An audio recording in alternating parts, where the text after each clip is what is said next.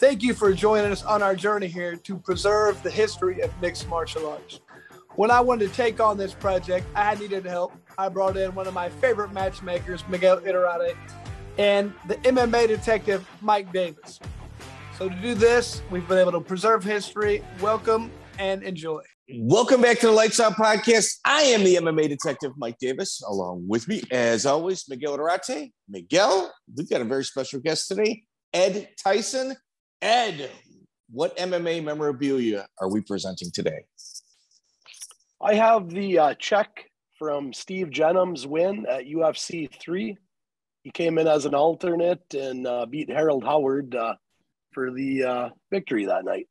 All right. There's a lot going on with this. Ladies and gentlemen, this is going to be like one of those football plays where you've got like a bunch of circles and squares and they're drawing all over. Let me try attempt to break this down. Harold Howard wins his first fight. Royce Gracie, well, first and foremost, it's the first time a tournament's ever been won by somebody without the last name Gracie. So it's completely unexpected. So Royce Gracie fights Kimo Leopoldo.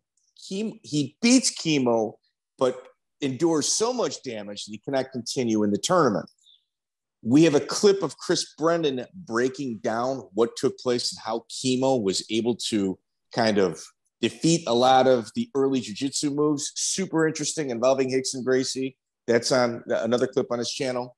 But Harold Howard advances to the finals.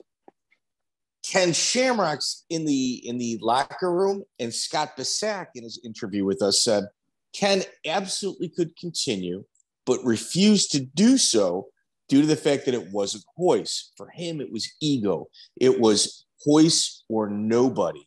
So he refused to continue. Bob Shamrock, Art Davie told us in our interview with him that for months, Bob refused to talk to Ken because he was so upset about Ken not advancing to the finals and you know getting his hand raised. So in essence, Steve Jennum, who's an alternate at this time, who had not fought. He had not fought the whole night. Usually, like the alternates had one fight to kind of uh, to keep their place. He did not in this tournament. So his first fight is in the finals against Harold Howard. Harold Howard. I, I, this is the event where he comes with a spinning or a, a somersault axe kick, and, and then like follows up with a right hand. It's actually Jennum. Jennum's got a good chin because it would have knocked a few people out. Miguel, what do you recall about this event? Well, we're in ancient history here. It's UFC three, yeah. you know, and at this point, everything's a learning lesson. And and here, historically, Jen's position is sealed, and he was the first lesson of, you know, that the tournaments may not go your way. You know, like you mentioned, it's the first time Royce didn't win a tournament, so you know, you had to count Royce as the favorite. You know, when Art Davie and Bob Meyrowitz sat down to talk about this, you know, that, you know, if Royce doesn't win, maybe Ken will win, or maybe Kimo will win, and they'll have a new star. Or, you know, they certainly weren't expecting to sign that check over to the alternate.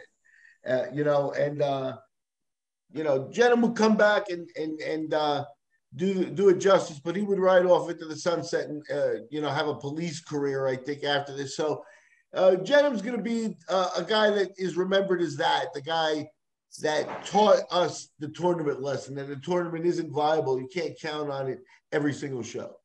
Right. So, Ed, how do you come about this this piece? Well, a friend of mine out in California actually obtained it directly from Steve Jennum. Guy was an old collector friend of mine, former collector by the name of Jeremy Kubal. He actually just called Steve Jennum and apparently, Jennum had the check hanging in his basement uh, on the wall with tape because I can see the tape marks on the back of the check. But he ended up uh, just sending it to Jeremy. He didn't even like make him pay for it. He just Jeremy was a very aggressive collector, ambitious, and found a way to just get guys to either send them or sell them, and that was uh, how he obtained that. So I, I I made a big purchase, and that was part of it, and it's one of the night it's one of the coolest pieces in my collection dating back to UFC three. And it's got Art Davie's signature on it too, correct? It does, yes.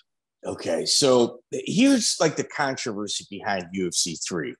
The controversy is whenever a fighter enters the ring, their name's announced, the bell is rang, That bout has officially started. Whatever takes place after that is going to be used as like and the fighter databases as what took place. And it also includes what the fighters get paid.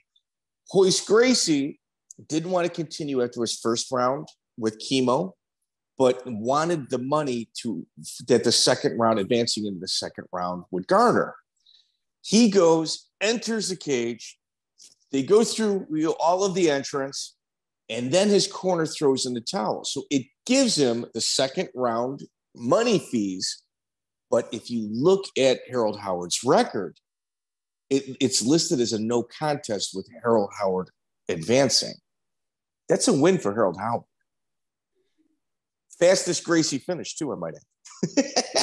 but it, it's there's so there's a little bit of controversy there. Again, I mean, obviously, we're talking about the early days of record keeping, but Harold Howard is absolutely being gypped a win against obviously the founding father of mixed martial arts, as we know it today, and that's Royce Gracie. So it's it's a very very interesting piece with like a lot of stories and drama um, surrounding it. This is it in a frame now, or is it still as is? How how large is this check? The check is probably about four feet wide by twenty inch, or four feet long by twenty inches wide. I actually keep it in between cardboard just to protect it. I don't put it in plastic or a frame because I'm afraid with the ink, because it's kind of written out in ink that if it got hot, it could possibly stick the front eventually to the plastic of a frame, you know, the frame itself or the window or the glass. And I just kind of keep in a cool environment because I've known other people that have had similar checks and they don't look as nice as this one. This one looks like it was just written out yesterday. So I, I think what I've been doing has really been uh, able to preserve it the correct way. Oh, excellent. Excellent. Ed, thank you so much. This is like a, an incredible piece of MMA memorabilia. And that's kind of what this show is all about. There's, there's, there's so much history behind just a piece of paper that, um, you know, would surprise most people. So Ed, thank you so much for joining us. And ladies and gentlemen, thank we'll you. Back, we will be back next week with another episode. Check out the full interview on iTunes, Spotify, and all major podcast platforms.